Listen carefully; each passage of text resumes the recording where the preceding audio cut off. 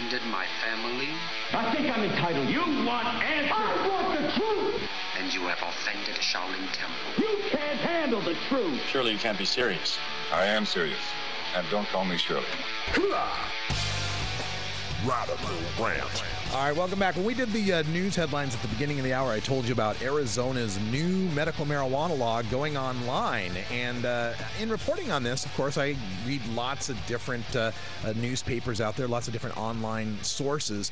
And uh, today, when the, the program went online, it went on literally just online. It's the only one that runs completely online. You can't walk in, you can't bring in paper, you can't mail stuff, you can't fax, no phone calls literally all digital, right? That's that's a that's a major milestone in medical marijuana. It's the only state that does it that way. That's a significant story.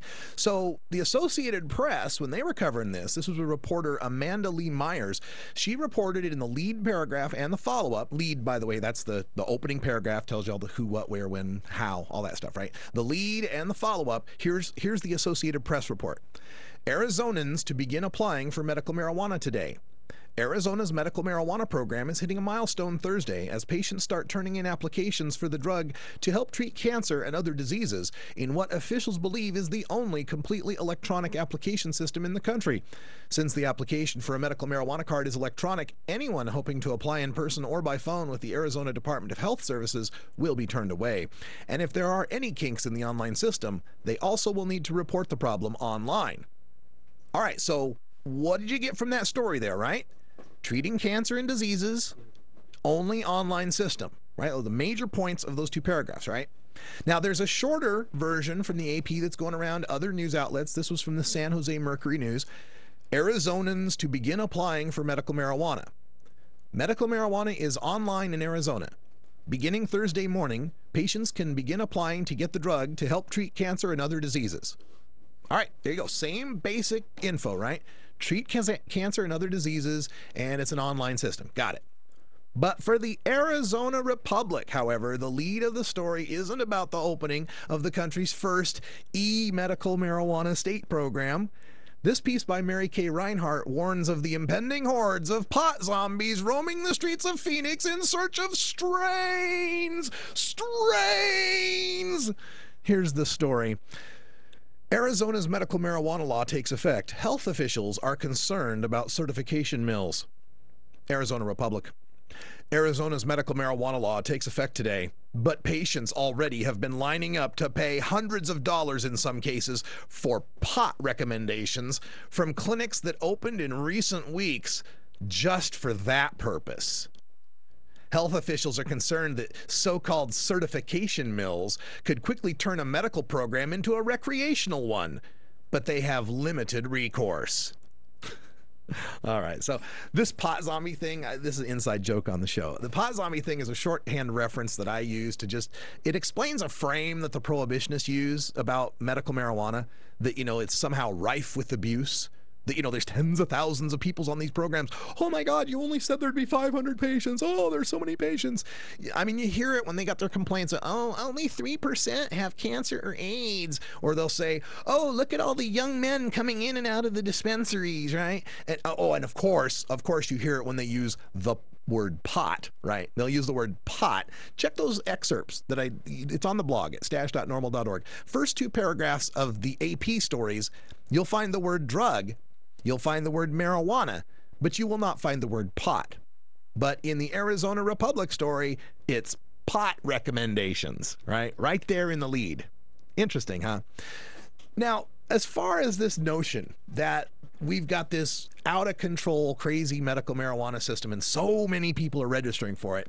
We've got to flip this frame. The pot zombies frame is basically this idea that a few medical people get in, but then all the stoners are going to, uh, and they're going to get into the program, right?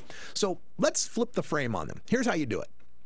Think for a moment that we're not talking about cannabis. We're not talking about pot, ganja, Mary Jane, marijuana, whatever. Let's suppose AstraZeneca comes out with a new pill, and let's call it Curezetol. Now, Curezetol treats symptoms of nausea, pain, spasticity, seizures, glaucoma, wasting, anxiety, depression, loss of libido, inflammation, digestion, lesions, cancers, infections, and more. Curezetol's common side effects are red eyes, dry mouth, and euphoria. And Cursitol's worst side effects are anxiety or panic, paranoia, and a racing heart. Cursitol is non habit forming with low risk of dependence and absolutely non toxic. Best of all, AstraZeneca sells Cursitol in pill form for a very reasonable price, or they'll sell you a home Cursitol kit and you can manufacture your own Cursitol at home for pennies on the dollar. Would Cursitol not become the most popular and best selling prescription on the planet? Wouldn't it? W- wouldn't doctors get flooded with requests from patients for a prescription for cures at all? So, why is it shocking to us when a medical marijuana state provides a legal way for patients to use cannabis and that state's registry grows into the ten, tens of thousands? If this were anything but medical marijuana, we would be proclaiming it a miracle drug. We would be hailing it from the tops of the trees. We would be screaming it across the headlines Miracle drug legalized in this country. Miracle drug discovered. New pill treats all these things, has such low risk of side effects. But no, no, no, because it was in a Cheech and Chong movie. Yeah, we can't uh, we can't treat it seriously. Now the other thing too is that this this pot zombies frame, part of it depends on the demonization of us, of the non-medical cannabis consumers, and it it's also part of this medicine of last resort thinking. You know, because pot is so dangerous and so unpredictable, unpredictable that we got to try all manner of addictive and toxic pharmaceuticals first. And then, only if none of them have the desired effect, do we dare allow people to try this inconsistent, impure smoked herb. And then, only for those suffering the most wretched agony, and soon to meet the Grim Reaper. The way we flip that frame is to portray cannabis as the medicine of first resort. If I suffer from pain, why wouldn't I take safer non toxic cannabis instead of an addictive toxic opiate?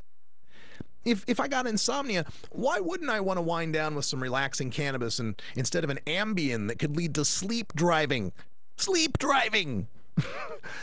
if I'm puking from nausea, why wouldn't I inhale cannabis smoke or cannabis vapor instead of trying to swallow and keep down a pill and wait 45 minutes for it to take effect?